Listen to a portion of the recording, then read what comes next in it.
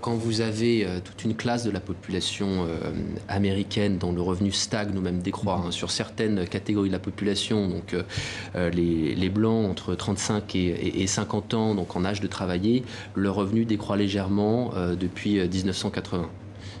dans, un pays où la croissance, elle, est mirobolante sur la même période. Donc il y a des gens qui sont complètement exclus du processus de création de, de richesse. Ça ne peut que créer des mécontentements extrêmes et ceux qui arrivent à voilà, bâtir un discours politique sur la base de ces, de ces mécontentements ont d'autant plus de, chances de, de l'emporter.